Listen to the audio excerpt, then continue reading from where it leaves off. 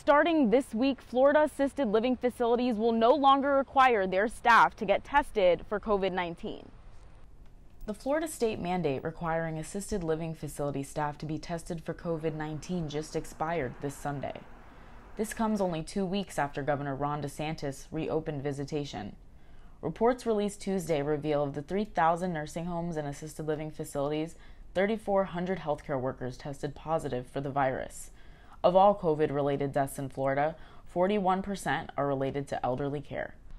Assisted living facilities do get to choose how they proceed moving forward. Contact your local facility to find out how they're adjusting their policy. Reporting for Florida Focus, I'm Deanna Lampasona.